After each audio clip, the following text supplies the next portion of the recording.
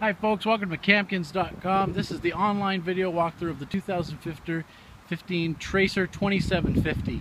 As you'll see, it's got a beautiful brown front cap on the front of it, as well as a powered tongue jack, and then dual 30 pound propane tanks on the front.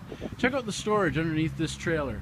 This trailer has lots and lots of storage with big doors so you can get large items under in the underpass storage and then as well it has magnetic catches uh, to keep the door up and then the slam latch doors with steel connections really really well built. You'll see that beautiful shiny look on the fiberglass. That's a Lamilux 4000 gel coated fiberglass.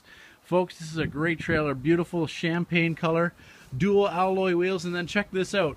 You get the outdoor kitchen. Beautiful outdoor kitchen. You've got a sink there a stove a large fridge a great opportunity to be cooking outside camping having lots of fun then you've got of course a ladder on the back and this is the Eternabond construction which means every single wall on this trailer is fully laminated.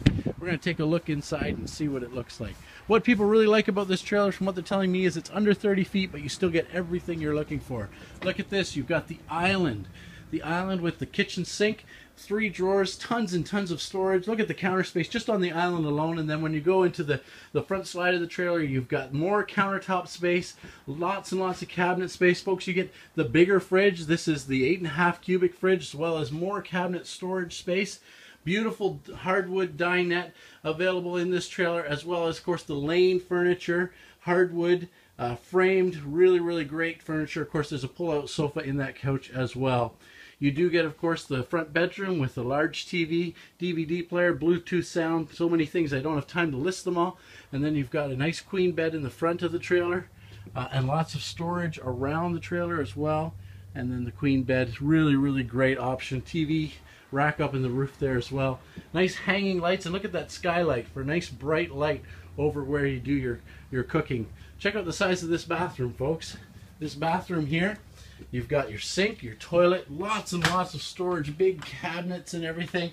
And then you also have, of course, a nice large shower with more cabinetry as well. This is the 2015 Tracer 2750 available at Campkins RV Center in Whitby, Ontario. We are in, in just on north on Highway 12, just north of Thickson Road. We say it's worth the hurdle to Myrtle. Come on.